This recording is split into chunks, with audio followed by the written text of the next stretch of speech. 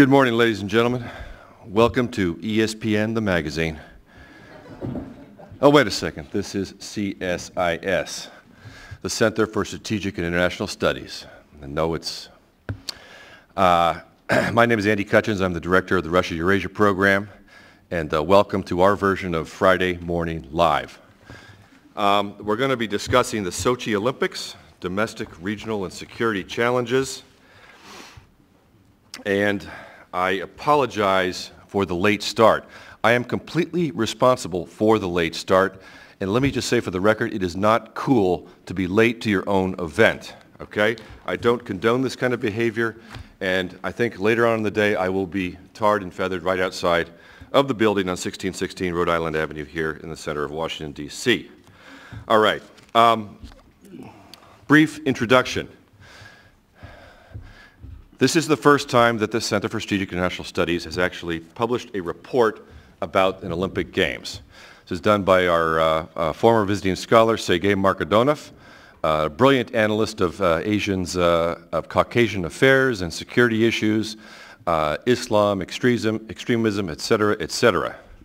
Uh, and it's got a really cool cover, I think. Um, terrific report, for my money, the best, uh, the best thing you can read about some of the challenges and issues around these games. Uh, so that's one unique aspect about these, about these games. Never before has uh, a Winter Olympic Games been held in a subtropical climate. The fact that the subtropical climate happens to be in the country that actually occupies the most territory in the Arctic, in the Arctic region is uh, rather anomalous as well. Never before has an Olympic Games been held in a region in such close, close proximity to a conflict zone. Uh, never, and a little bit more about this conflict zone, never before has an Olympic Games been held in a conflict, in such cl close proximity to a conflict zone in which was in fact uh, the site of effectively two civil wars in the country that was, that is holding the Games one of which effectively Russia lost in the mid-1990s to with Chechnya, and one of which was won. Uh, uh, the, the zone, the Northern Caucasus that I'm referring to, uh, where my uh, uh, co esteemed colleagues will talk at greater length uh, about the challenges, challenges there. You know, when Mr. Putin went down to Guatemala City in, in 2007, it was a period of relative, relative quiescence, I would say, in the area. The Chechnya had been somewhat, had been somewhat stabilized, and the, uh, the frequency of violence in the other republics uh, in the North Caucasus had not begun to escalate perhaps to the degree that it did shortly thereafter. Nevertheless, it was a very, very risky decision, I think, for the International Olympic Committee to do so. Never before more on the conflict zone. Never before has an Olympic Games been held in even closer proximity to a country which the host country fought a war with after the Olympic Committee awarded Russia the Games. I'm referring, of course, to the Russia-Georgian War. Sochi, depending on where you are in Sochi, is 10, 15 kilometers away from Abkhazia, uh, the region of Georgia, uh, which the Russian Federation acknowledged as independent after the August 2008 war. Another pretty unique aspect about these games. Never before in my lifetime, my lifetime, I was born on February 13th, 1959, just be clear about this, never before in my lifetime has an Olympic Games been so politically controversial and so identified with the leader of the host country, that of course being Vladimir Putin. Um, so no, we're not going to talk today about the, uh, well, let me just say one more thing, because we are in Washington, D.C., and I don't think ever before has a sports icon from Washington, D.C. been so closely associated with the foreign host, the leader of the country, Vladimir Putin, of these games. Obviously, I'm talking about OV, Alexander Ovechkin, who will be uh, captaining the Russian hockey team and is a fop, friend of Putin. Very close friend, I believe. So an interesting aspect from the Washington, D.C. angle. Um, so I've already said, uh, said, said too much because we have a really terrific uh, uh, set of panelists uh, in which uh, I will give brief introductions for all of them uh, in the order in which they speak. the first speaker will be Jeffrey Mankoff to my left, who is Deputy Director and Fellow here at CSIS at the Russia and Eurasia, Eurasia Program.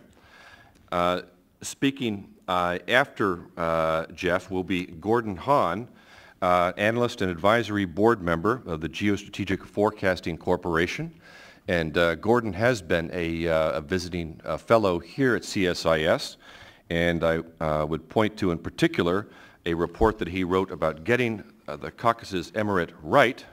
and he is one of the world's leading authorities on the extremist groups, terrorist groups, individuals who are in fact threatening these games.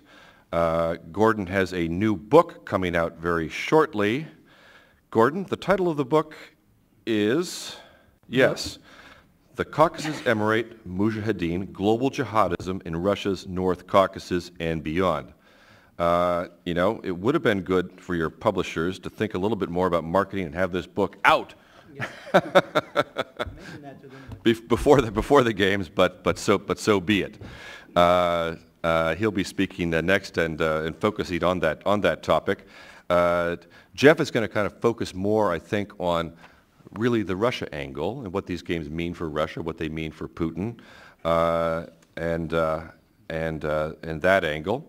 And I'm very very pleased to and happy to welcome from.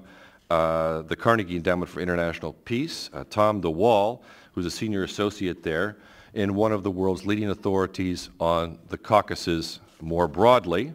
And Tom also has a uh, reasonably new book out uh, that, da, da, da, okay, sorry, sorry C-SPAN. Tom, where's, why in your bio isn't the name of your newest book a little easier to find? Give us the title actually, I just repub- did a new version of my old book last year. I think that must be what you're thinking of. Um, the a new version of your old book. You, know, you, you got to work on the marketing a little bit about that. I don't, you know. No, no. It's of course it's a. You all have to read it. It's got. It's my book about the, the Karabakh conflict came out in in an updated version last year. Okay. Uh, still, I didn't hear the title there, but. A Black any, Garden. Okay. Sorry. All right. So, and then finally, uh, batting cleanup uh, uh, for very, very good reasons uh, is our colleague uh, here at CSIS uh, in the Transnational Threat Program, Senior Advisor Juan Zarate.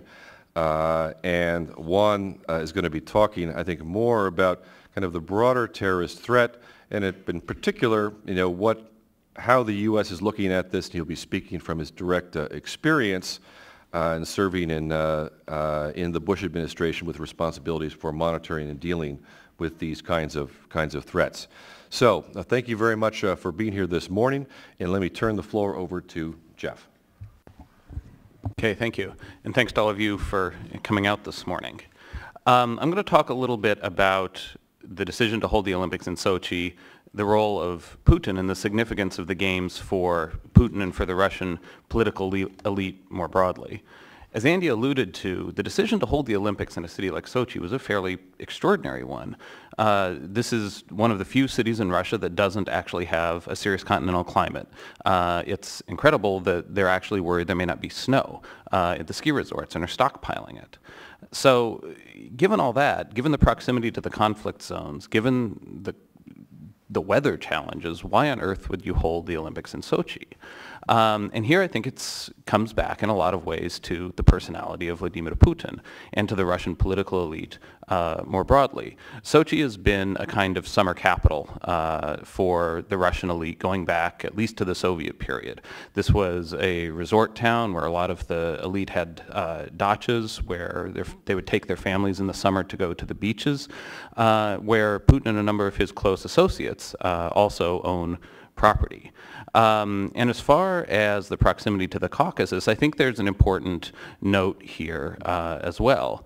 Um, you have to remember that the instability that we see just down the road from Sochi today was very different from how that region looked in 2007 when the games were awarded.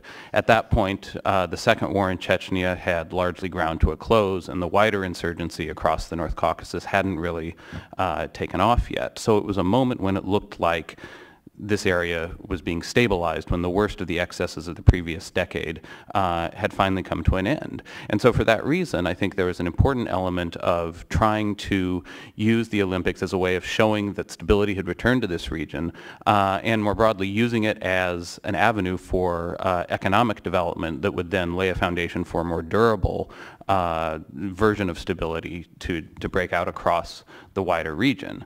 Now, of course, Russia and the Caucasus in 2007, I think, looked a lot better uh, than they do today in a lot of ways, the Sochi Games look kind of like a Soviet-era, uh, not only prestige project, but also something on the this idea of megalomania uh, that we often associate with uh, Soviet infrastructure projects, like the the railroads or the, the the dams or the reversal of rivers that was being contemplated at one point for Siberia. This was a very top-down operation.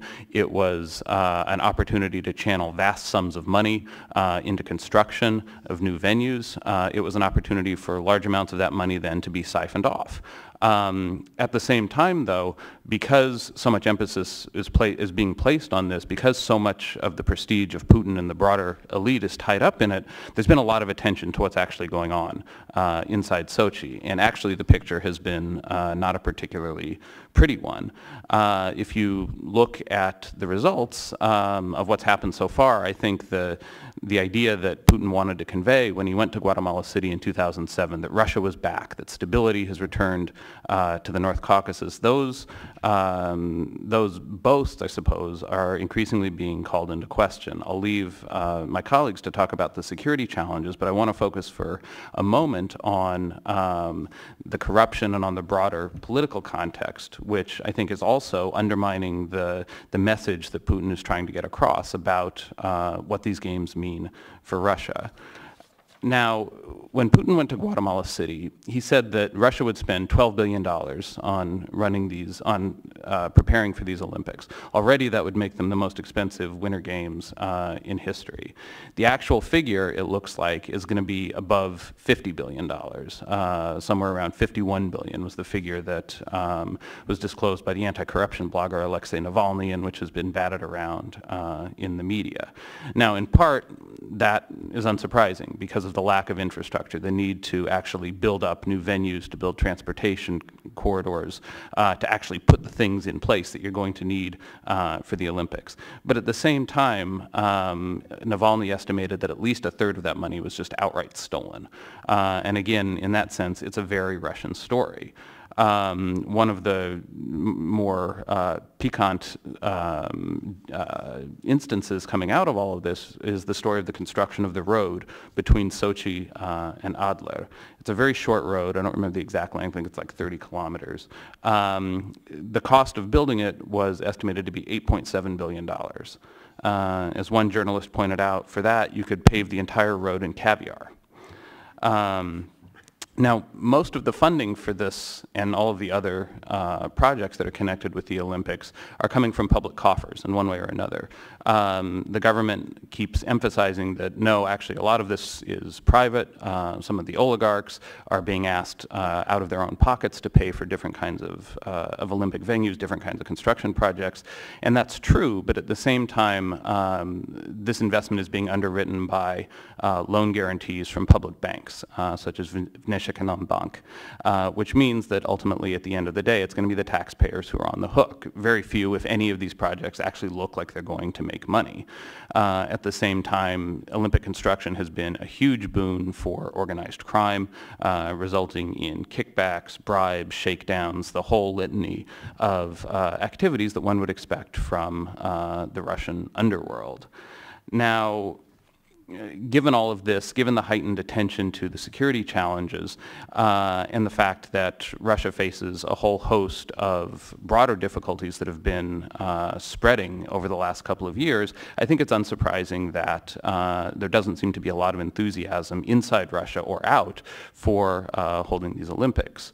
Um, we had a, a, speaker come here about a week ago who's a, a leading Russian opposition politician, and we, we, were discussing this, and he said, you know, he remembered the contrast, or he was pointing out the contrast between the attitudes in Russia today and the attitudes in Moscow in 1980 when uh, the Summer Games were being held in, in the Soviet Union for the first time. He said in 1980 there was a palpable sense that everybody was in this together, that there was a sense of pride that the Soviet Union was going to be hosting the Olympics, uh, and a sense of almost defiance that the outside world was choosing to boycott it over the invasion of Afghanistan. And he said today there's much more apathy, there's much less interest. People just don't care. They're aware of the corruption, they're aware that none of this is actually going to benefit them once the Olympics are over, and they question all of the expenditures that are being uh, put into it. And of course they're worried about uh, security. It seems, uh, according to the most recent estimates I've seen, that only about 70% of the tickets uh, have been sold for most of the Olympic events, which given that we're a week out from the opening ceremonies is a pretty uh, extraordinary vote of no confidence. At the same time, holding the Olympics in Russia and holding the Olympics in Sochi has really put Russia and Putin in the global media spotlight at a time when the country, I think, is facing uh, a number of challenges. And that global spotlight has really emphasized uh, where Russia is, seems to be going off track, a lot of the, the problems that are accumulating uh, in that country. There's obviously a lot of global media attention now on Russia's uh, gay rights challenges. And I don't think it's surprising that uh, the U.S. delegation is going to be headed by Billie Jean King. Uh, if you haven't seen them, look at the uniforms for the German team that's going to be participating uh, in the Olympics. They're rainbow flags. Um, it's, it's become an opportunity for the outside world, which is increasingly frustrated with Putin's Russia, to make a point, uh, to make points about all of the things um, that they're struggling with. Now, I think the government recognized some of the problems and in the run-up to the Olympics tried to take uh, some limited steps to uh, address what they expected would be um, the most salient sources of complaint. So uh, Russia's most prominent political prisoner, Mikhail Khodorkovsky, was released uh, shortly before the Olympics. Uh, the punk band Pussy Riot was released. Uh, and in part, this seems to be an effort on the part of the authorities to put things in a good light before the global media, to change the narrative uh, ahead of these Olympics. But I don't think that they've succeeded. Uh, I think if you look at the list of who's not going to the opening ceremonies among uh, international leaders, that probably, I think that does actually say a lot about uh, how the rest of the world views these games and views current political developments in Russia. Um, President Obama is not going, Vice President Biden is not going, Angela Merkel is not going, Francois Hollande is not going. Um, Shinzo Abe and Xi Jinping are, uh, and that is an interesting commentary in and of itself, I suppose. Um, so as far as shaping the narrative for an international audience, I think it's hard to say that so far at least the Olympics have been a success. And if there's a problem with one of the venues that fails, if there's a terrorist attack, then I think that narrative is only going to get more negative. But at the end of the day, I think it's important to remember who the main audience is. Yes, it's important, I think, for Putin to emphasize to the international community that Russia is back, that Russia can hold an event on the scale of these games. But the most important audience is domestic. Uh, how this plays in Russia, I think, is in a lot of ways more important. Uh, and so far, you know, I think we haven't seen uh, an upsurge of enthusiasm. Now, if the Russian team does really well, if they win a lot of gold medals, if the Olympics go off without a hitch, then maybe once the games are over, after the closing ceremonies have happened, we'll revise how we evaluate them. But I think right now, it's a very uh, questionable proposition to think that these Olympics are actually going to function in the way that Putin and the Russian elite intended them to function when Putin went to Guatemala City in 2007 and was actually given the right to host the Olympics this year. Thank you very, thank you very much, Jeff. Very comprehensive and, and, and trenchant. Uh, might also uh, note that uh, Lindsey Vonn is not going, although I don't believe that's a political statement. You know, the, the budget for these games, it kind of reminds me of the, uh, uh, the, the question of trying to uh, estimate what the Soviet military budget was. Nobody knows. I don't think anybody knows what it, what it is. Uh, and I don't think we're ever going to we're ever to find out. Um, thanks. Let me turn to uh, uh, to Gordon. Okay, picking up briefly where Jeff uh, left off, I think this is uh, potentially a very important turning point in post-Soviet Russian history, depending on the outcome of the games. Uh, we're very likely likely to see if we see some kind of catastrophic terrorist attack, um, complete reversal of what has been left of the, what I consider to have been a, liberalization or a thaw under uh, President uh, Medvedev, and an even more sharp turn to more hardline policies uh, under Putin. So it's a very important moment. And, and a turn to a more hard line would be based on the post-Beslan model when we saw the major attack in, in Beslan and a hard turn uh, clamping down and a rolling back of uh, democracy in Russia. Okay, to the threat. Um, about six, seven months ago, I wrote a paper for the Geostrategic Forecasting Corporation on the Sochi threat, and I outlined six different features that I thought uh, uh, were important. First, um, or, and I am here I'm talking about potential perpetrators within the Caucasus Emirate Mujahideen, potential tactics and uh, targets. Uh, first is uh, suicide bombings run by the Dagestani network of the Caucasus Emirate Mujahideen, the so-called Dagestan Vilayat which could be either Dagestani locals or ethnic Russians, uh, converts to Islam, which the Dagestan Vilayat has specialized in uh, recruiting and deploying for uh, suicide bombings. Uh, attacks perpetrated by a uh, foreign group, independently or in league with the Caucasus Emirate Mujahideen. Uh, a possible chemical attack involving groups from the Caucasus Emirate who have returned from Syria and may have acquired uh, chemical weapons. There are also two attempts inside Russia this year that appeared to be focused on perhaps targeting chemical weapons. Um, suicide bombings run by uh, Caucasus Emirate Amir uh, Doku Abu Usman Umarov uh, and the Riyad Salakin Martyrs Brigade, which he revived, uh, Umarov revived in 2009. Uh, and there have been, since the formation of the Caucasus Emirate, 54 suicide bombings carried out since October 2007 in Russia, so about nine per year.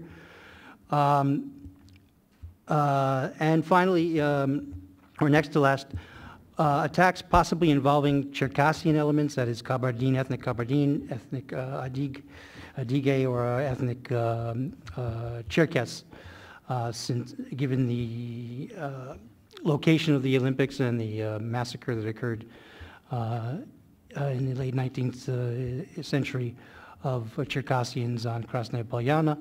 There's an interest in the Cherkassian Mujahideen to uh, participate. so there's a wing in the, in the Caucasus Emirate of Cherkassian Emirate who might want to take part. And then second is attacks on targets other than Sochi. That is, uh, it wouldn't take um, uh, a major attack uh, in Moscow or coordinated attacks, say, in each of the vilayats under the Emirate, uh, the Caucasus Emirates uh, uh, base of operations uh, in the North Caucasus, attack in St. Petersburg, some kind of a major attack or event would be enough, I think, to help spoil the Olympics. Uh, so let me look at each of those uh, briefly in turn in more detail. Um, the Dagestan Vilayat threat, the, the, using um, local Dagestani suicide bombers, or ethnic Russian suicide uh, bombers. This largely comes from a group led by a guy by the name of Abu Muhammad uh, Rustam Asildarov is his real name. He is the emir of the Dagestan Vilayat.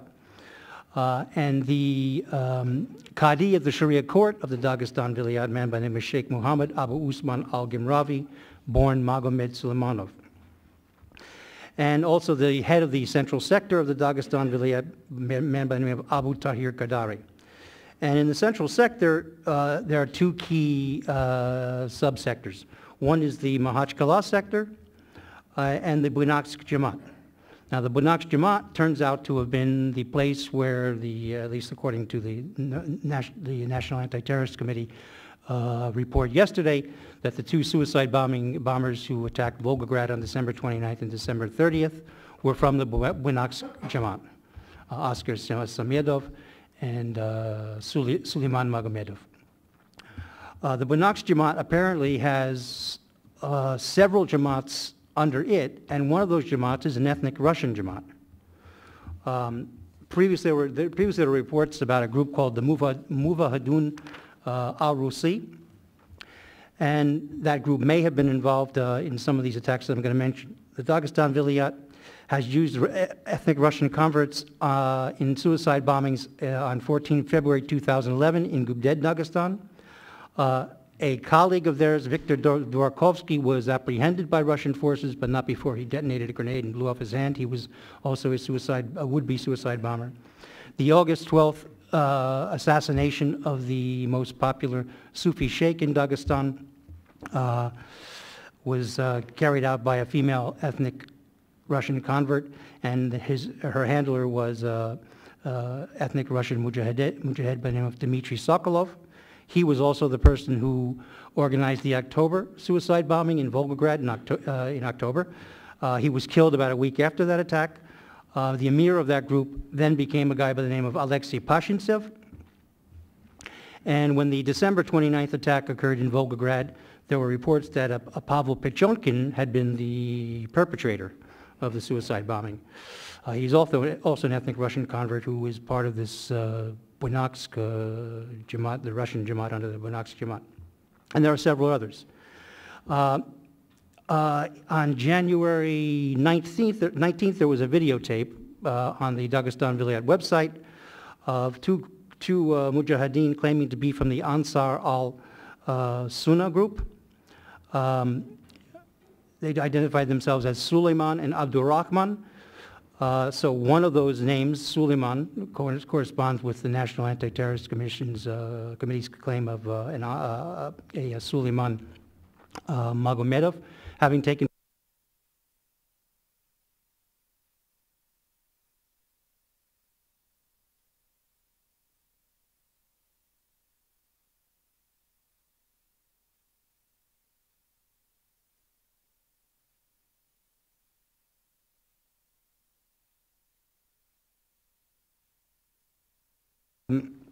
uh, the Pechonkin was not involved, which means that the ethnic Russians, the ethnic Russian Mujahideen are still out there and uh, may still be heard from. In fact, the Dagestan Vilayat has been publishing all sorts of recent uh, material encouraging Russians to rise up and talking about the ethnic Russian Mujahideen.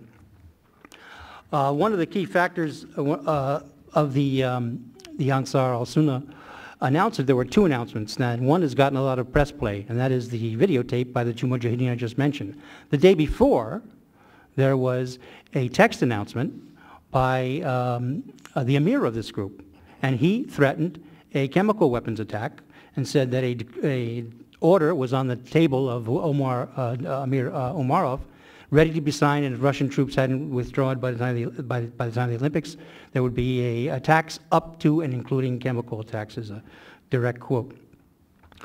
Um, the other potential here is the uh, potential of a foreign group joining in league with the Caucasus Emirate. And here, uh, and there's a tie-in here with the possible possibility of a chemical weapons attack, and that is that there are hundreds of Caucasus Emirate mujahideen, and there are hundreds of would-be replacements uh, to cover the attrition that occurs amongst the Caucasus uh, Emirate mujahideen fighting in Syria.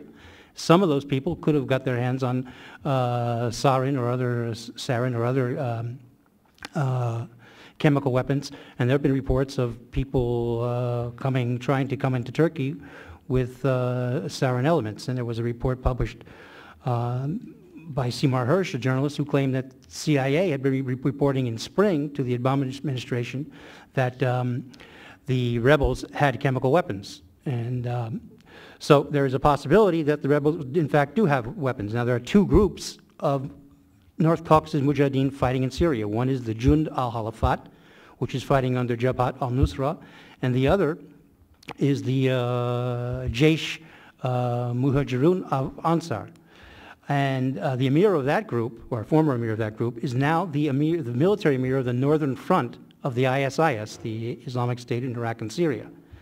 And in fact, he is now attending shuras, so he's a high-ranking figure. So the possibility that Al-Qaeda and or, or ISIS and Al-Qaeda and the Caucasus Emirate would team up to somehow get chemi chemical weapons into North Caucasus for an attack on uh, Sochi cannot be excluded. In terms of the Circassian th threat, uh, how much time I got? We've got a couple minutes. Um, the, the network of the Caucasus Emirate uh, uh, sub-network called the United Vilayat of Kabardia, Balkaria, and Karachay, what I call the OVKBK, covers Kabardino-Balkaria and Karachay-Cherkessia. Those are Circassian, uh, part, partially uh, Circassian populated groups. And they have a direct interest in taking part. Now, they, this network is much weaker than the Dagestani network, as is the Chechen network and as is the Ingushetia network. Uh, but it's the second most uh, powerful network, and it's possible that they would, they would assign several mujahideen to take part, but I doubt that they would be able to lead a major operation with the caveat that in February 2011 they carried out what looked like a practice run for an attack on Sochi. They car carried out a attack on the Mount Elbrus ski resort district, uh, a multi-pronged attack in, involving destroying a ski lift, a truck bomb in front of a hotel, killing four uh, Moscow uh, uh, tour tourists from Moscow, and several other small-scale attacks on, on police, virtually simultaneously within a period of 48 hours, most of them within a 24-hour period. Uh, an alarm raised there in a connection with the foreign element is that uh, on January 13, the, uh, the Russian National Ter Anti-Terrorism Committee claimed that they had arrested uh, five terrorists who were part of, quote, an international terrorist organization, unquote, in Kabardino-Balkaria, in Nalchik, the capital of Kabardino-Balkaria. So there is a possibility of a Circassian uh, operation, but I wouldn't expect it be an operation to be led.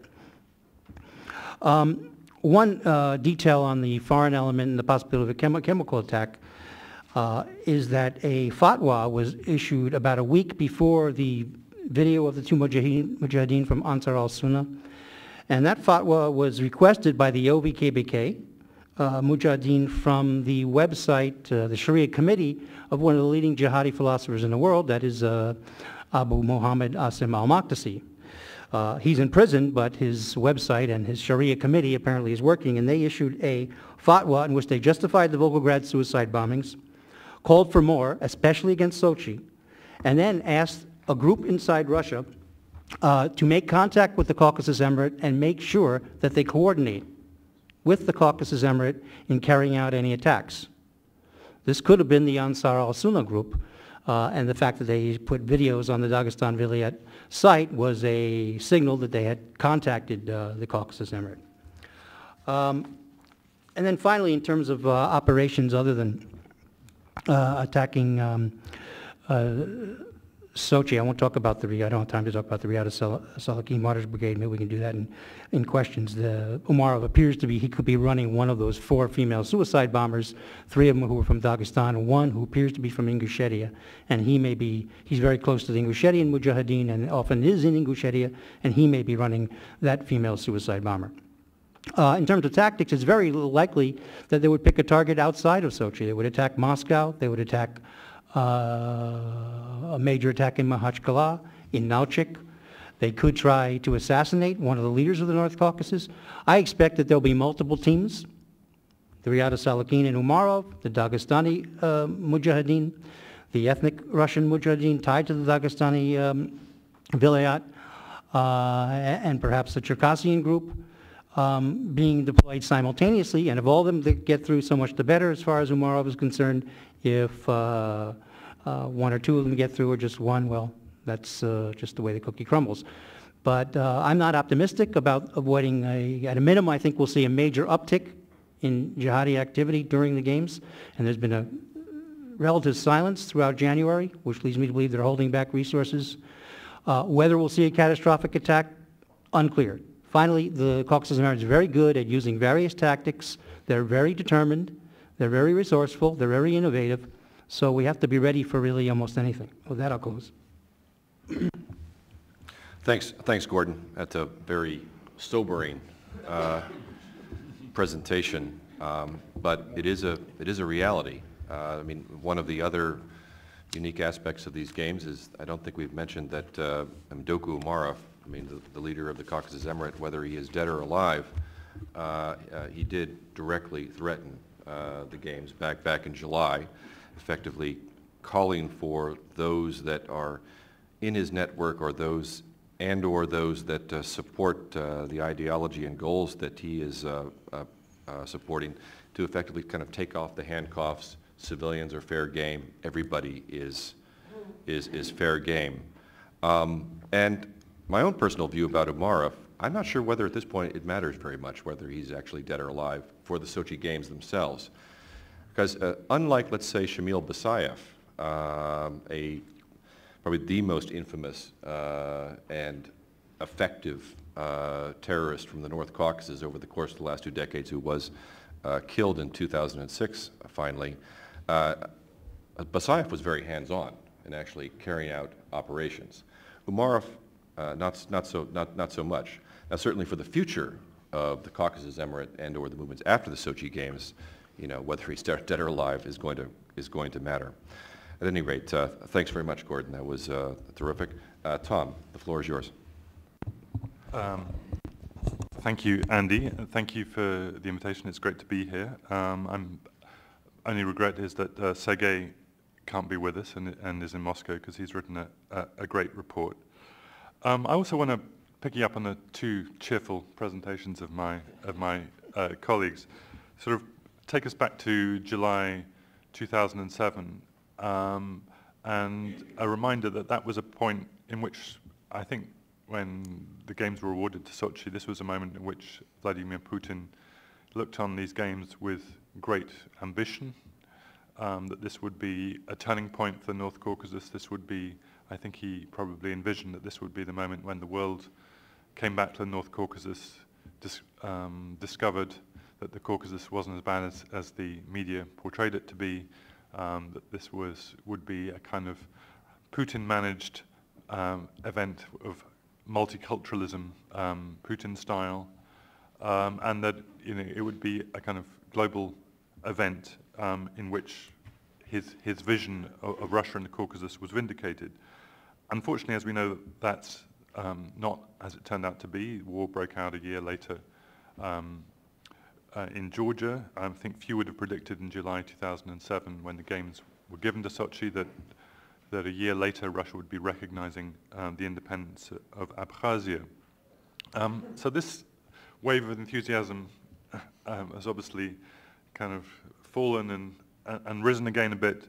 Um, I think there was, a, again, last year uh, there was a bit more enthusiasm with the, the election of a new uh, government in Georgia and the departure from the scene of, of Mikhail Saakashvili, that, that this could be also an opportunity.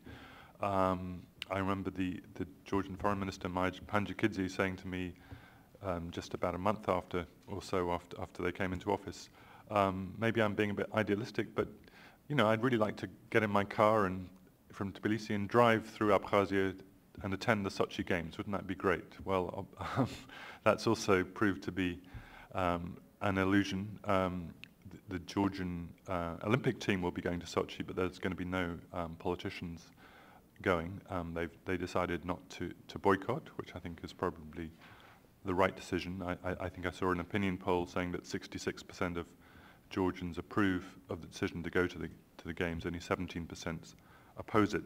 But it's clearly not going to be um, a kind of event of, of great kind of coming together and, and, and reconciliation. Um, I think the Abkhaz also had ambitions for this game, that this would be a way that they could leverage these games to be put on the map. Um, we had, you know, that suddenly there would be, um, if not an Abkhaz delegation, that somehow they would be kind of inserted somehow into, into the games. And again, that hasn't happened. I think Putin's ambitions have really been scaled way down um, to the point where really the ambition is really to get through this game, these games unscathed, and for people to be talking about skiing and skating rather, rather than terrorism, which is, and frankly, I think what we all want to see, but, but clearly the fact that we're here today talking, still talking about terrorism and security threats a week before the games shows um, where the reality is. So, and, and in that regard, um, I think Putin has shed some his more ambitious goals for the Caucasus and just concentrated on Caucasus lockdown. So the Georgians um, are welcome to come, but there's no, this is not, not, not a time for rapprochement uh, with the Georgians other than the, the things that, that, are already going on in Georgian-Russian relations to do with, with, with trade and, and, maybe visa liberalization.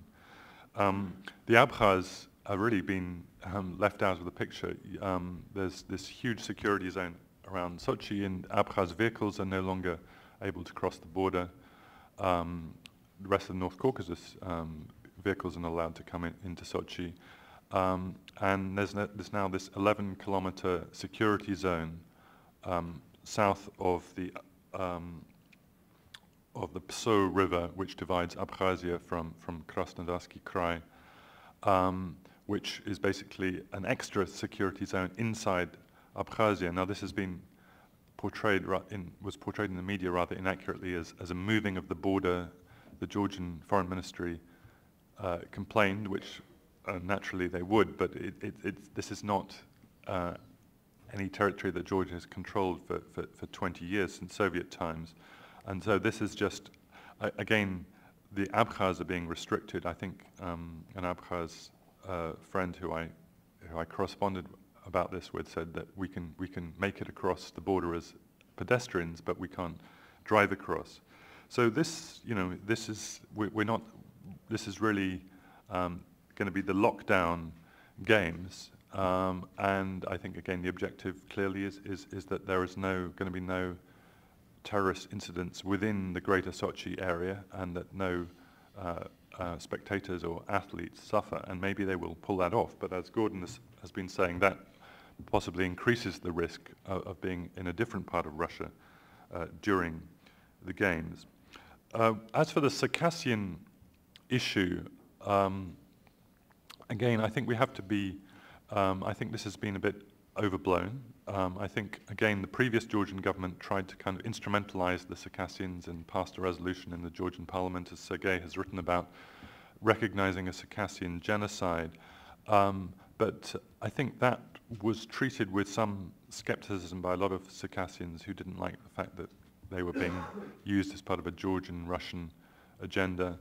Circassians are many different ethnic groups, um, Kabardins, um, Adigs, um, and, and the ones who really were from the Sochi area, they were the kind of indigenous people there way before the Russians arrived, people like the Shapsugs and the Ubykhs, people who really no longer there on the, on the ground, maybe a few thousand Shapsugs. I think Sergei had the figure about three or 4,000. Um, but most of those, if they're anywhere, their descendants are living in, in Turkey or in Jordan. And I think all they really wanted um, was, was just to be acknowledged that they existed, that, this, that they are the indigenous people from this area, and that um, by coincidence, or rather black coincidence, the 150th anniversary of, of, their kind of massacre, defeat, and deportation in 1864 happened on this precise spot in Krasnaya Polyana where the gates, games were being held. So I think a little more sensitivity uh, from the Russian government would have gone a long way. Unfortunately, um, again, the Russian government and Mr. Putin are not famed for this kind of sensitivity towards ethnic minorities.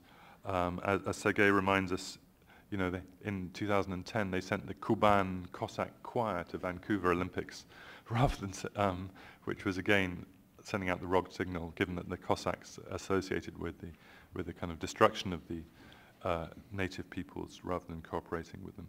Um, but I, I, don't anticipate, I wouldn't anticipate any kind of um, effort by Circassians to disrupt the game. And, and if there is a, a Kabardinian Jamaat and Vilayat, this is, these are Islamists. These are not these are not Circassian nationalists who have a nationalist agenda. Indeed, we've seen um, Islamists targeting um, people with a national agenda in places like Kabardino-Balkaria, um, in, in, in the North Caucasus. Um, we've seen a couple of assassinations of academics who've been trying to kind of um, portray a non-Islamist identity for, for, for, the Circassians.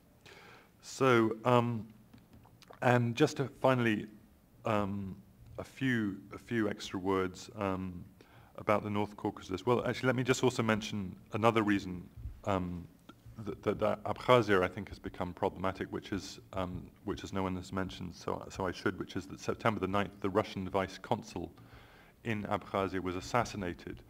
Uh, the main suspect um, is a Chechen who was, I think, um, wounded in Georgia. That, that's a whole different subplot. But again, that's a reason um, to, to, for the Russians to regard Abkhazia as a, as, a, as a, problem and as a threat to these games rather than, than as an opportunity.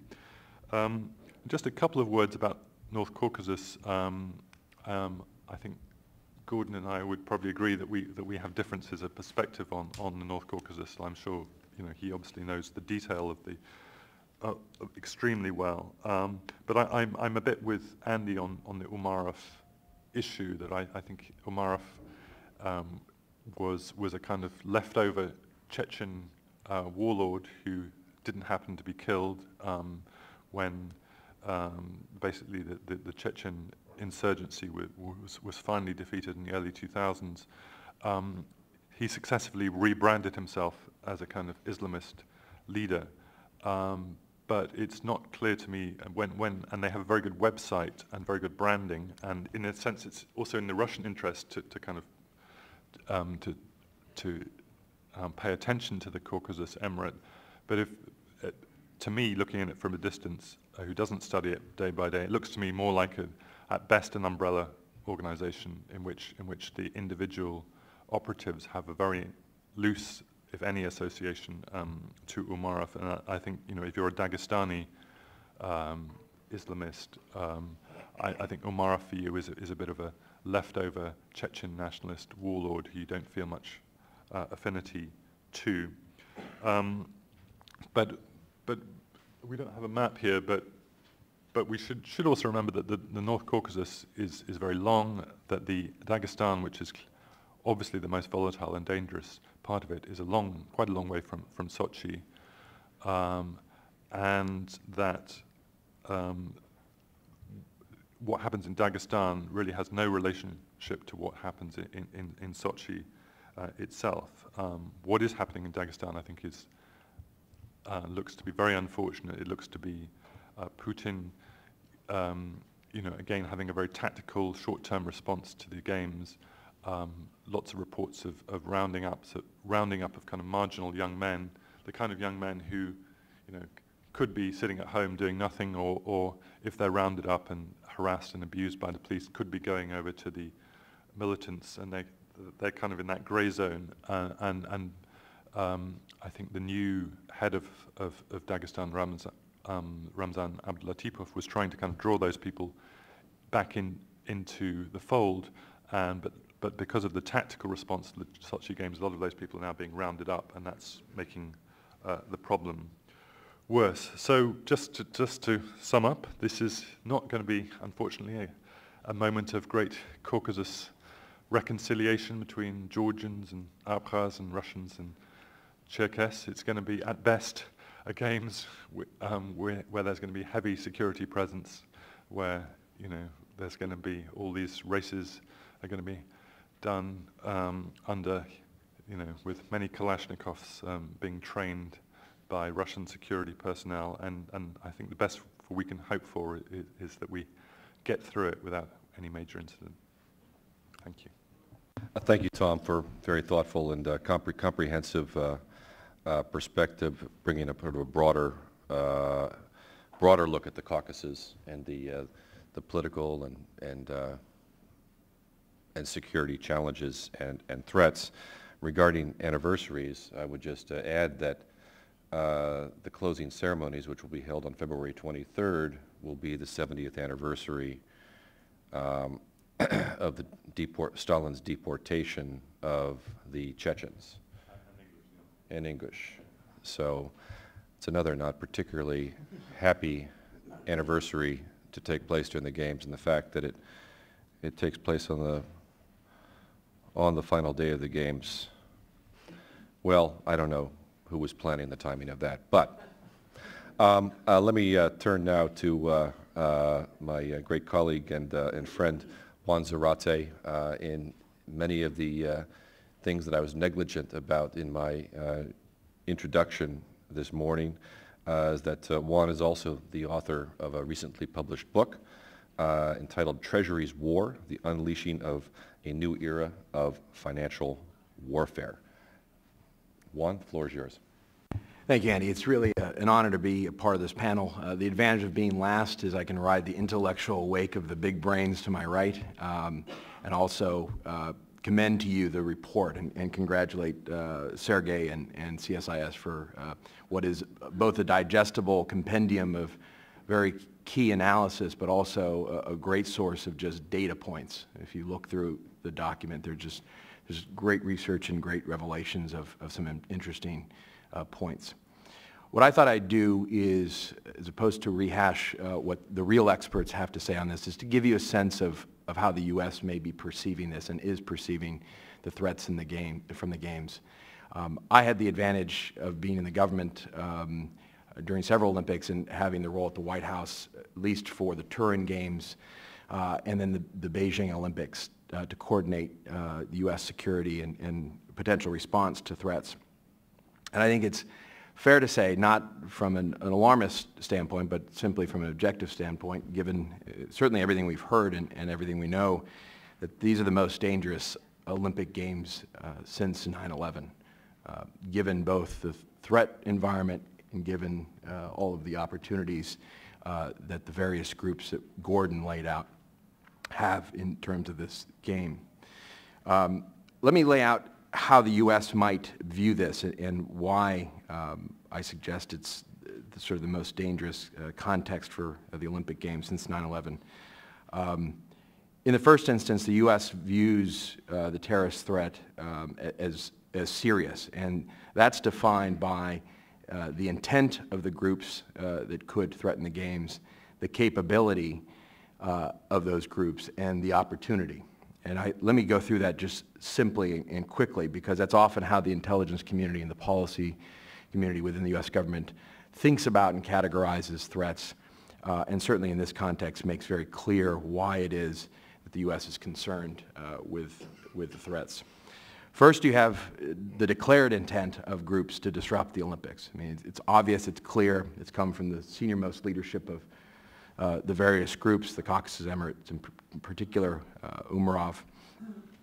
Significantly, and I think important in the July uh, 2013 statement is not just the call for attacks on the games and massive disruption, but also the lifting of the moratorium on attacks on civilian targets, which uh, is in essence a call to arms and an opening of the target sets around the Sochi Olympics, and not just the the venues, but also uh, the transportation hubs and, and other uh, venues that are potentially vulnerable and uh, the site of soft targets.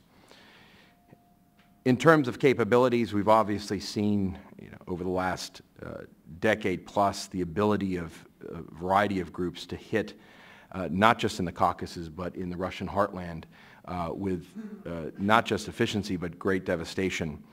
we saw this in Volgograd, the three attacks since the fall. Um, and in particular with past attacks, and importantly in, in the description that Gordon gave, and that's in, uh, certainly in the report, is that you have these groups that not only are motivated and have the intent, but have practiced the capabilities and have um, mastered a variety of vectors to, to attack. That is to say, uh, these are groups that don't just specialize in one type of attack. These are groups that can plan a variety of ways to um, attack both secured sites and unsecured sites. You've seen this with singular suicide bombers. You've seen it with coordinated attacks. You've seen it with truck bombs and bus bombs. You've seen it with uh, the use of multiple uh, militants uh, in targeted assaults. Uh, and you've seen their willingness and ability over the course of uh, the last decade uh, to attack all uh, sorts of venues that are vulnerable. Uh, transportation hubs, of course, you've seen the metro attacks and the, uh, the rail line attacks. You've seen attacks on airlines. You've seen attacks on schools, security uh, sites, uh, police stations, hospitals. And so this is, these are groups uh, that, again, not only have the intent, but have the demonstrated capability to attack from a variety of vectors and are well practiced in many ways in, in how to do this. Finally, the opportunity. Obviously, as, as Jeffrey laid out, the Olympics is a, is a center stage, obviously, for world attention. You have the media there. You've got uh, all of the world watching, uh, and hopefully, as Thomas said, watching for the right reasons, watching success on the slopes and on uh, the ice. But um, certainly the terrorists understand um, not just the significance of the games, but the significance of the games to Russia and to Putin. And the personalization of the games itself, in some ways, presents a sort of a red flag for the bull, uh, an attractiveness for these groups to demonstrate their ability to actually attack and embarrass Putin and the Russians uh, in a very important way. And again, I take you back to the July 2013 statement from Doku Umarov, where he not only called for attacks on the Sochi Games, not only lifted the moratorium on uh, attacking civilian targets, but also called for a new phase in the war for liberation of the Caucasus and the establishment of an Islamic emirate. Um, and what's interesting there, and perhaps most interesting to me from the point of view of an opportunity and the broader threat uh, from a variety of terrorist groups, not just from the Caucasus, but perhaps even from Central Asia, groups like IMU and IJU, or returning fighters from the Syrian conflict, um, or even foreign fighters that flow in, is the fact that this may be a moment of convergence of not just a rejuvenation of the fight and uh, an accelerated terrorist uh, campaign from some of these groups under the banner of the Caucasus Emirates, but also may be a rejuvenation of the global jihadi narrative around attacks against Russia as uh, the, ne the new near and far enemy in the, in the global jihadi narrative. And by that I mean, uh, not only has Chechnya and Dagestan and Ingushetia always formed part of the global jihadi narrative, as seen most recently in Ayman al-Zawahiri's uh, statement where he makes reference to the uh, noble and heroic persistence of the fight in Chechnya. Uh, but the Russians in their support of Assad uh, and in the, the backing of uh, what is viewed by the global jihadi groups as uh, the backing of, of, of, the slaughter of, of Sunni Muslims um, has really put itself back into the heart of the global jihadi narrative as a, a key potential target and force to hit. And that may not manifest itself in Sochi, uh, but it certainly will manifest itself in the future. Um, and I think uh, that's an important point to note because I think in the minds likely of the, of the groups operating out of the Caucasus, this is a, a moment of opportunity to embarrass the Russians, but it also may be a moment of opportunity for the global jihadi narrative to take advantage of Sochi and take advantage of uh, what may be a, a moment of, of rejuvenation. Um, and lastly, the environs itself uh, present opportunities. And so it's not just uh, the potential to attack uh, in Sochi, um, to launch uh, you know, attacks or to uh, provide logistical support out of Abkhazia. The report, by the way, lays out uh, recent instances of terrorist um, caches captured in Abkhazia, explosive devices, weaponry, uh, supplies. Um, and so the environs itself provide opportunity logistically. Um, and most importantly, the perception of the risk and threat uh, to the games is, most significant. That is to say, the terrorists need not necessarily attack successfully a venue in Sochi itself. Uh, and the, the, Russians are certainly applying brute force and security around the venues. Uh, but if they can create a sense of instability and insecurity by attacking in Volgograd, attacking in Moscow, attacking uh, in the near environs, it begins to change the perception of the games. It begins to start a debate, including in the U.S. government, no doubt, as to how to secure U.S. Uh, athletes, participants, uh, family members, sponsors, and um, citizens who are, who are visiting. Um, two other key points of concern for the U.S. government uh, that have, I think, accelerated over the last couple of weeks. One is a continued lack of visibility uh, into what the Russians are seeing and doing in terms of the, the actual terrorist threats or threads that they're following and the disruptions that are underway. There's no questions, question the Russians are following real threats. We've seen the reports of the Black Widows uh, that may have been overblown a bit, but it, it demonstrates that there's a, there are real concerns about particular terrorist operatives and threads. Um, and it's clear as well that the Russian forces have been engaged in counterterrorism and counterinsurgency operations, knocking down doors, engaged in firefights, in particular in Dagestan, to try to be as disruptive as possible. Uh, and the death of Doku Umarov, or reported death, uh, may be a part of it. It's still unclear whether or not that's accurate, as Andy indicated. Uh, but the lack of visibility concerns the U.S. government because that, that um, creates a blind spot for the potential threats to U.S. interests uh, at the site.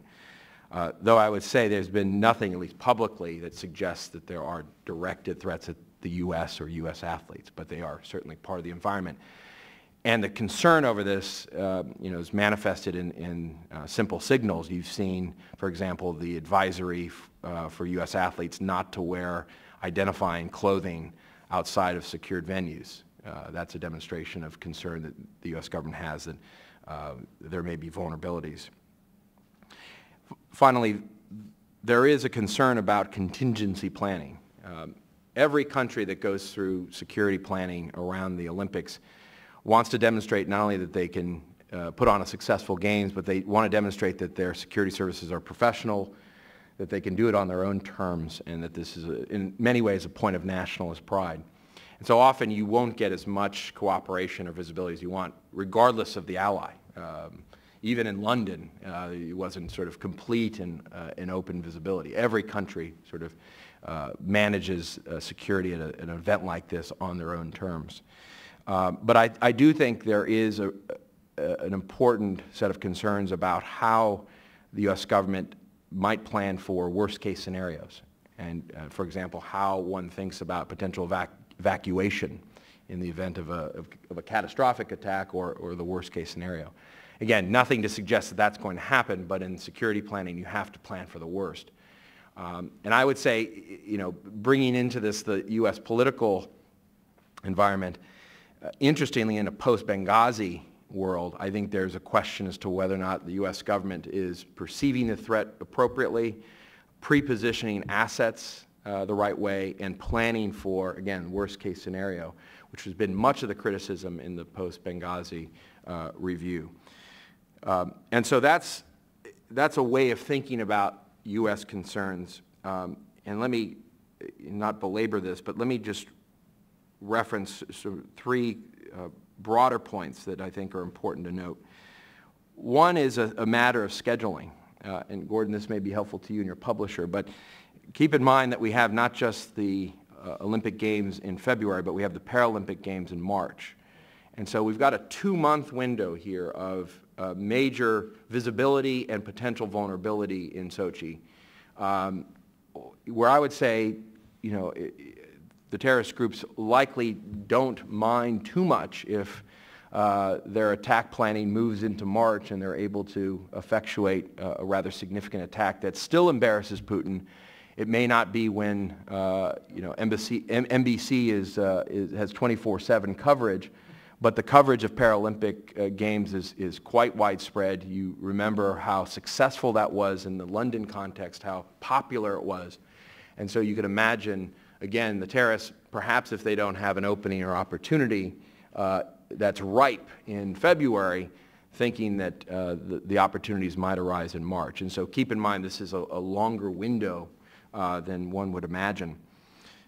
Second, this is actually a, moment of great opportunity of cooperation between the U.S. and Russia. Um, it's always a moment of potential cooperation uh, around multinational security events where information sharing, cooperation can be enhanced. And you've seen this from the U.S. government trying to push this with the offering of more FBI agents and security personnel from state diplomatic security on the ground, the offering of new technology from Department of Defense, offer of more coordination in terms of planning on the ground. Um, it's not clear to me if the Russians are taking full advantage of this, and they aren't.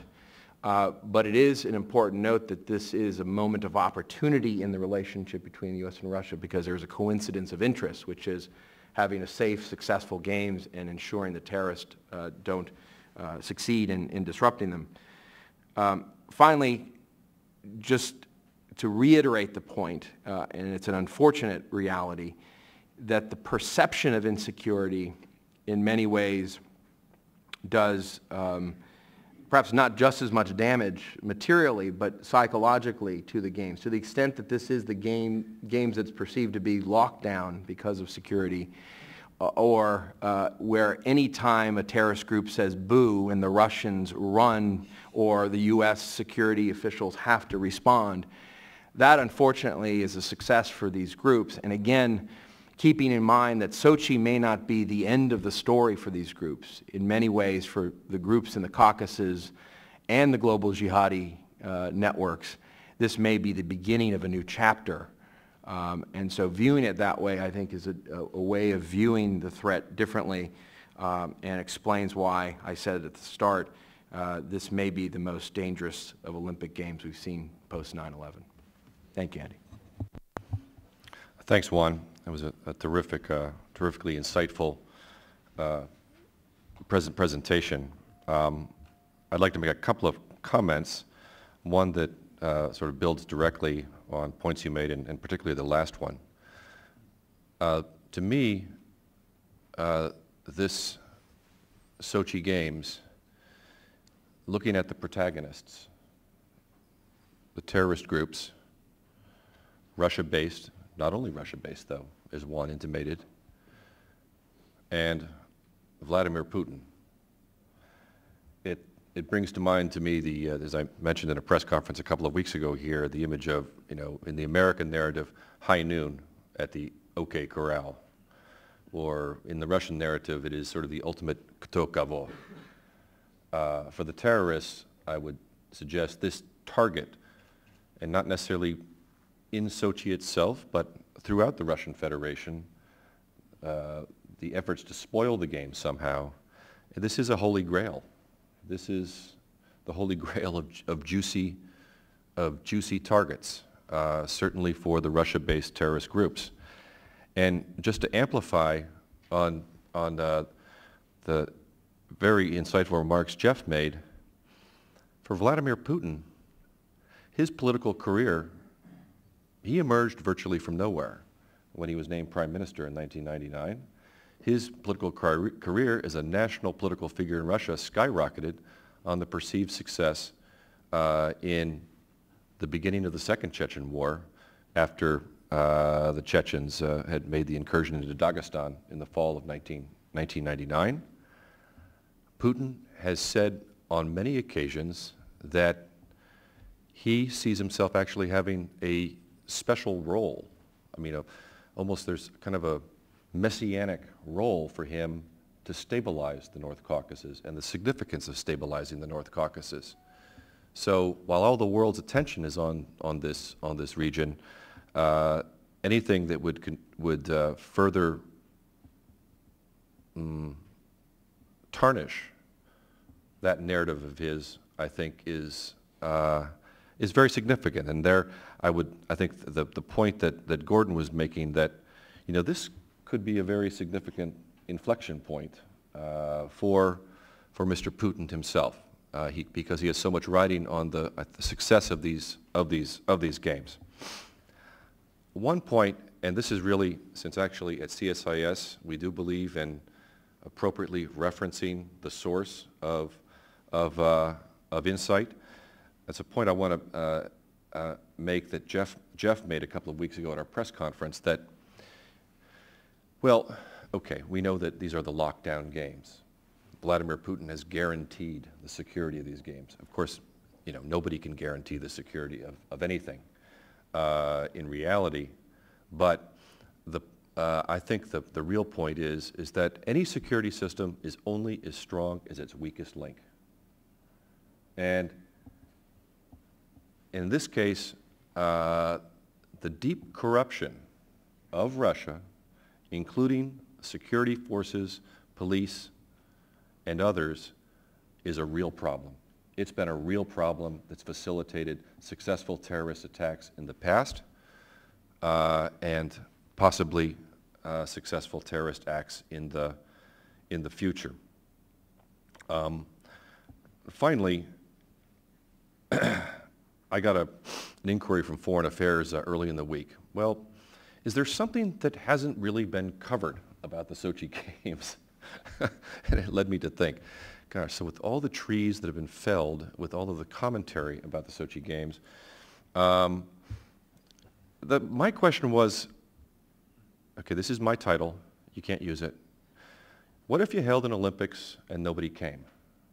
Um, you know, Jeff mentioned the attendance, the attendance uh, issue. We referenced there 70,000, or 70% of the, uh, the tickets have, have been sold, which of course may or may not be, may or may not be true.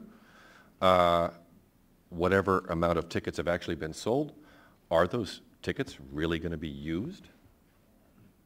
Um, obviously, the, the interest of the international community uh, in attending the games has been dramatically reduced. I think there are very, very serious reservations on the parts on the part of many Russian Russian citizens themselves. Um, now, when I raised this in our uh, in our session with uh, well, this mysterious opposition figure that Jeff referenced before was Vladimir Milov, who spoke here on Monday. Uh, Jeff said, look, Andy, that's not going to be a problem because, you know, look, Russian authorities are very effective in busing people in to attend pro-government rallies or busing people around at elections to vote Chicago style, i.e. many times, and the, and the like. Nevertheless, though, um, I, think there, I think there should be some concern about, it would look rather embarrassing uh, if, you know, international cameras are on the, uh, the stands and it, it doesn't appear that, uh, that, that the, the, attendance is, a, is really a problem. Um, and just tied to that, you know, let's not forget the possibility of, well, you know, people of course talked about, let's say, the LGBT community making some kind of demonstration, or, or there are a whole, a whole set of possible actors who would have uh, reasons for making some kind of, using the podium of the games if they could to make some kind of uh, demonstration uh, in some way, shape, or form. But the one that struck me was, I was recalling, you know, the, the ultimate fighting uh, um, competition that was held at uh, Olympic uh, Stadium indoors, large venue in Moscow a few years ago, a couple of years ago, and where uh, Putin, it was you know, where a Russian, the Russian guy defeated the American, so that was, that was good. And uh, so Mr. Putin decided to kind of use that to uh, make some public remarks uh, to the, uh, the crowd of thousands, and he was booed and hissed. Booed and hissed. Um, very, very embarrassing. So something of that nature could, uh, uh, could transpire also. Um, like all my colleagues, of course, uh, we all hope that none of the, the threats uh, and challenges that we have, uh, we've outlined here in our opening remarks um, will come to transpire, uh, but I will be watching these games with a special interest. And let me also, again, I want to acknowledge Sergei Markedonov for the, the work he's done on this this report. I'm very, very sorry that he's not able to be here with us with us today. I'd also like to take this opportunity to thank the, uh, the Carnegie Corporation of New York, which uh, supported the visiting uh, fellowship of uh, uh, Sergei here and also the publication of the report.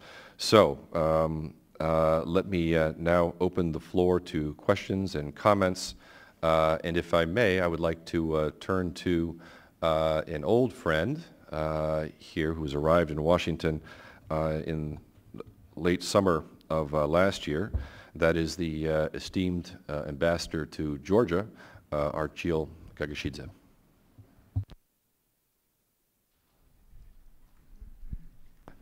And for those of you others that after uh, Ambassador Gegeshidze, uh, please uh, identify yourselves briefly for, the, for us. Thank you, Andy. thank you, distinguished panel. Uh, Georgia has its very unique angle uh, of uh, perspective on, on, Russia generally and the, on the Sochi Olympics. Um, as the new government, uh, uh, which uh, came to power just a mm, months ago, decided to review its policy towards Russia in order to slightly improve its relationship with Russia to mitigate the risk of resumption, what has happened back in 2008. Um, among others, decided to uh, change the policies of the old government and, uh, and to join the games, not to boycott them. So Georgian delegation will be going there, very small but still. Uh, mm, uh, well, uh, and more so, Georgian government offered uh, Russian government cooperation on, on, security. So far, we have not received any response from Russians, but nonetheless, we indicated, signaled them that we are in favor of peaceful conduct, conduct of the games, because if anything bad happens there, it's, it's in, it is in nobody's interest, I mean, except for those who will be doing that. Um, especially for Georgia, who is uh, the closest uh, foreign country which uh, neighbors the site, Im immediately neighbors the site uh, of the Olympic Games. And uh, as we all know, the uh, Russians, especially the ineffective government who fails to prevent from happening mm, these undesirable things, may pinpoint at others and try to find scapegoats elsewhere. elsewhere. And sometimes, uh, in many times, uh, Russia would do, uh, do by doing so, would mm, point at Georgia.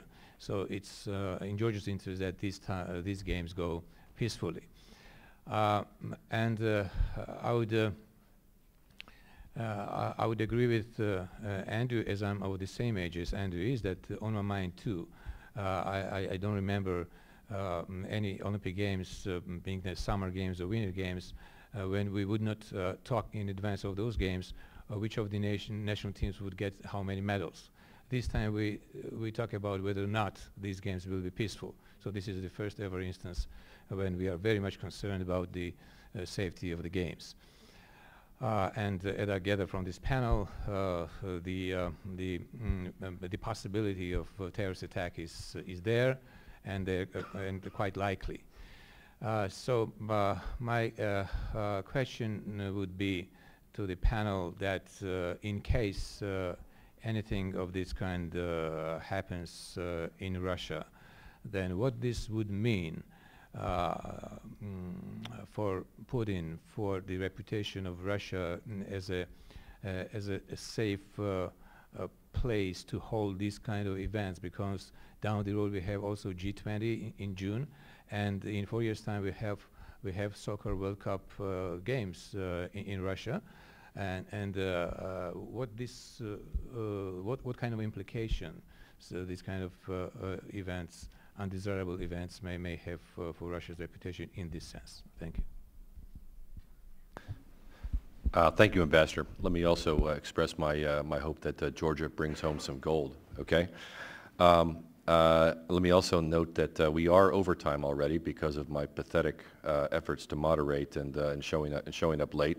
Uh, the panel is prepared to be here until 1045, and uh, obviously you are not being held hostage.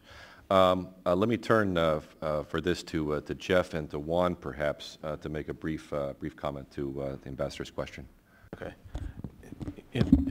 the point that the ambassador made about the focus of these Olympics being on the security rather than on the medal count, I think is is right, and it's quite quite striking. Um, there have been, of course, terrorist attacks at Olympic Games in the past. In Munich in 1972, most notably, and then in Atlanta in 1996. What was different about those attacks, though, was that in the aftermath of them, nobody used them to call into question the legitimacy of the political system of the country that were holding the Olympics. Um, because so much of the Russian government's and Putin's personal prestige is tied up in these Olympics, I think if there is a successful terrorist attack, it has a, it sends a very negative signal internationally and also within the country, and it can have, I think, long-running um, political fallout. Uh, you mentioned also the, the G20 and, and the World Cup, and there, you know, I think regardless of whether there's a successful attack at the Olympics or not, the complications that we've already seen in the run-ups to the games, I'm sure, is creating a lot of heartburn in the headquarters of FIFA uh, when they think about having to do an event that's even larger than the Olympics spread across the entire country. If you have security challenges with regard to a single venue, imagine that now multiplied by multiple times across the country for all the different places you're going to be holding um, the World Cup. So I think it's, it's going to be a problem that we're going to see come up again and again and again as Russia continues to hold these international events in the years to come. Mr. Ambassador, I can be very quick in responding. I think it would in some ways depend on the, the, nature of the event, of course, and so the scope of it would, would matter. And I think also the reaction and how the, the Russians responded, um, whether or not that was viewed as competent, uh, effective, uh, and helpful. Because I think it's, uh, as, as, Jeffrey said, you know, Atlanta happened, uh, but there wasn't a sense that the games had to collapse or that there was a sense that uh, the U.S. wasn't a, an appropriate venue for future major international events. Um, I think the question is, would, a, would an attack be of a, of a type, a scope, and reveal vulnerabilities that really do call into material question Russia's ability to host these kinds of significant events? And I think, um, you know, again, we're, all hoping and praying that things go very well. Uh, but if something were to happen, I think that debate would happen immediately. Hi, my name is Tara McKelvey. I'm with the BBC, and I'm wondering if you can tell me what you think is the most serious threat, the number one threat, and also um, what the U.S. is doing about it.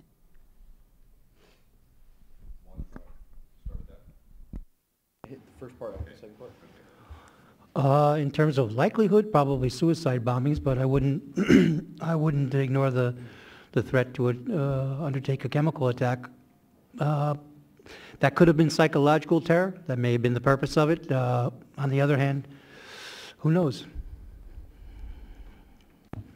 With respect to the U.S., what they do, U.S. intelligence community law enforcement tried to understand uh, any particular threats, other than the broad threat environment, which they understand well, but any particular threats. That's why the question of visibility into what the Russians know and are following becomes so important. Um, they're trying to offer any and all cooperation to the Russians. Uh, and then the U.S. is uh, preparing contingency plans. Um, and so that's, that's what you do in an environment like this. But uh, at the end of the day, you in many ways are beholden on the host government's willingness to cooperate uh, and their effectiveness in preparing for the event and any eventuality. Thanks. Just a, a brief comment, because I want to highlight the, the, the, the Syria as, as aspect of this, and particularly with the, the chemi chemical weapons issue um, as Gordon uh, uh, has, has, has, talked about. The, uh, if you go back to uh, Assad's decision to give up his chemical weapons, which undoubtedly in my mind, he was basically given an ultimatum by, by Mr. Putin and the Russians that either you do this or, or we will no longer be able to, to support you in any way, way, shape, way, shape, or form. We can talk about that more. I think the, the real issue there is the question to which actually uh, Assad and, and, uh, and Syrian forces actually were, able to, are able, were and are able to control, have effective control over their chemical weapons arsenal, which was dispersed in 40 plus places around, around, around the country. Uh, that has worried me for a long time. Let's go to this side of the, uh, yes.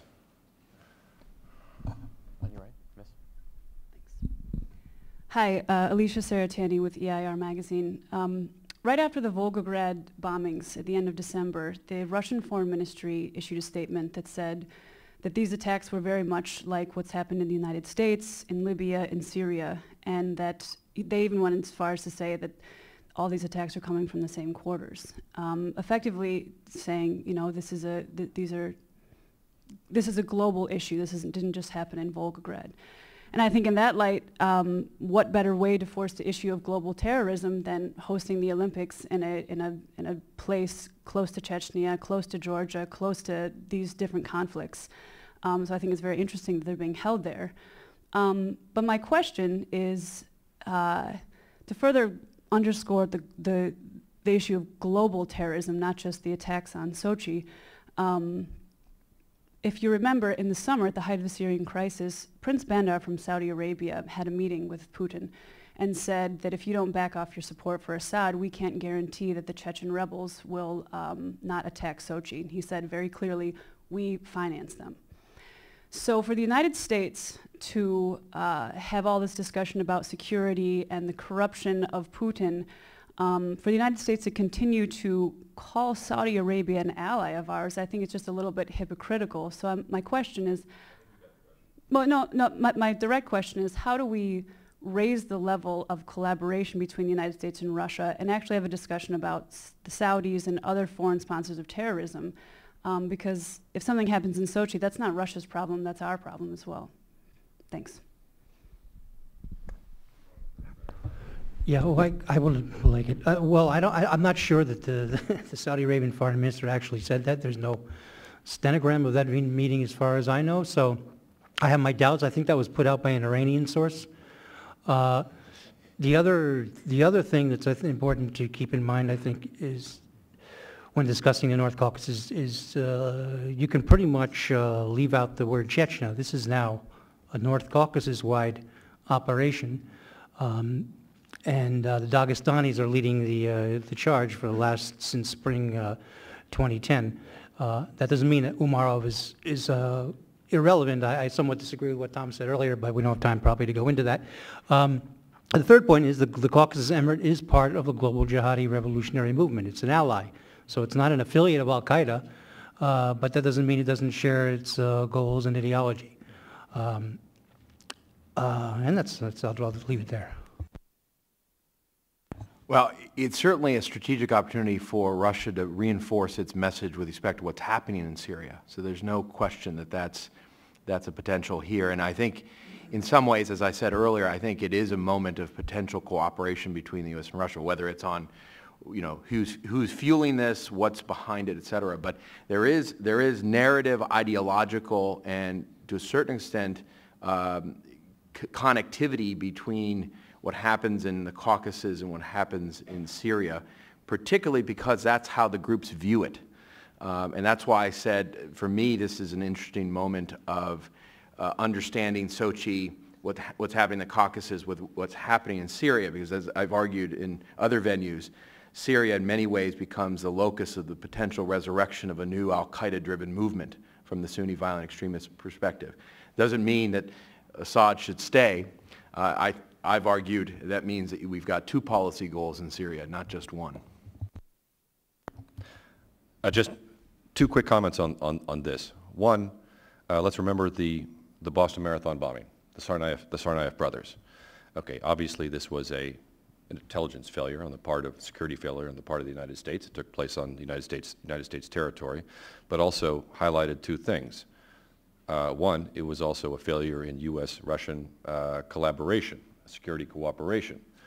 Uh, three, I think it, uh, it um, emphasized to the United States intelligence community and security community uh, the importance of tracking more closely the Northern Caucasus uh, as a as a seedbed for uh, for global global terrorism. Um,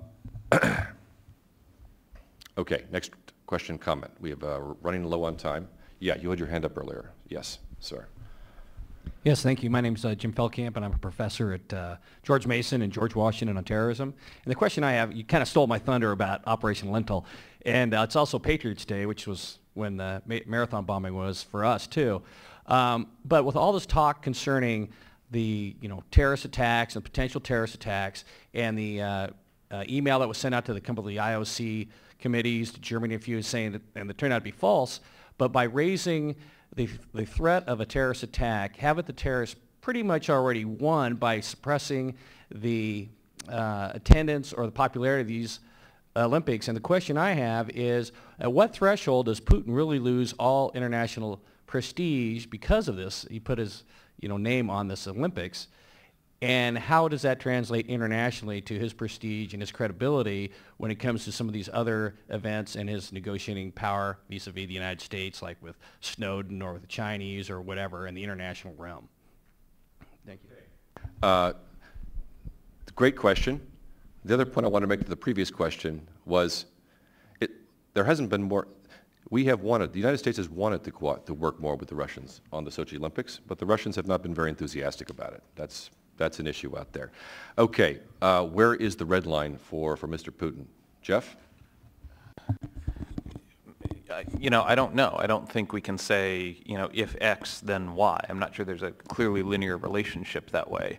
Uh, obviously, we're going to have to wait and see what happens. You know, the games could surpass all of our expectations. They could go off without any terrorist attacks occurring. The Russian teams could actually do very well. And I, I, I want to emphasize this again. I think it, because so much of the audience that Putin is focusing on is domestic, actually the performance of the Russian athletes is going to matter in terms of how they're perceived and in terms of the narrative that Putin is trying to get across with his own constituency.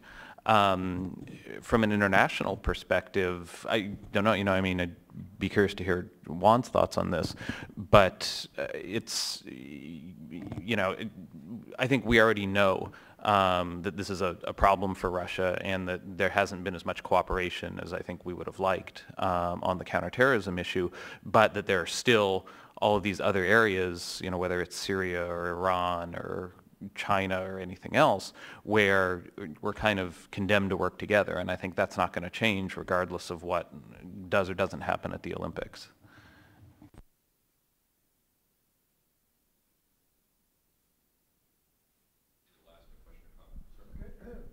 Jeff McCausland. Whoa, thank you. I'm a Jeff McCausland. I'm a professor at Dickinson College. This may be a very easy but sad question, and that is based on the global showcase, which is the Olympics, based on the personification of the Olympics under Putin, as this panel has so well described, does any panelist possibly imagine that some terrorist group would not make an attempt? Now, that attempt could be thwarted in its early stages, but can anybody possibly imagine they would ignore this opportunity?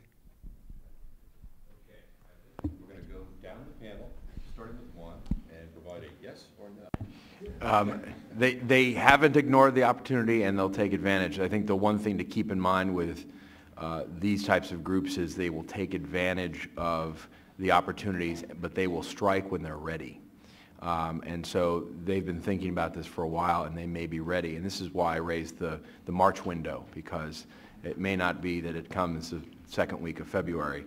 It may be down the road. And consider, the, consider these concluding remarks, please. Thanks. Um, yeah, I absolutely concur with that. There, there's going to be, they're going to take their opportunity, and unfortunately, it could be against a very soft target, you know, hundreds or thousands of miles uh, uh, from Sochi. I think I'll just stop there.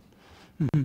I, uh, there's no way they're going to ignore it. Uh, to the previous question, uh, and, and, I think they're already trying to uh, undertake attacks that's ongoing. again, it, the timing may be different, as as Juan said. Um, uh, on the previous question, they're going for something bigger. Attendance, you know, unless the stadiums are completely empty, then they could say, okay, that's a victory. But they're going for something bigger. I think the Caucasus Emirate would very much like, uh, Umarov and the Dagestanis especially, would very much like to give us a big bang, so to speak, uh, not to use a sad pun. Um, but um, I think that's what they're going for.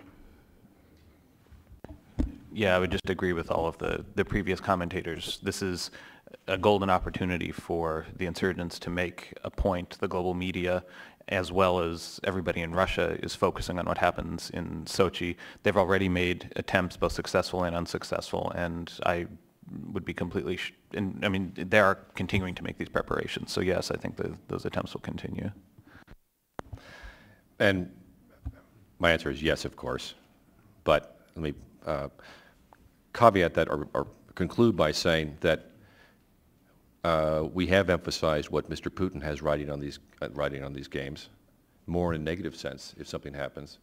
But if there is not a, a successful terrorist terrorist attack in some way, shape, or form, uh, even though there's already been significant, uh, you know, kind of disturbance around the games because of what's happened and what's what's been said, then this will be looked at, I think, as as uh, some kind of uh, a defeat actually for the for those that have announced that these games are are a target.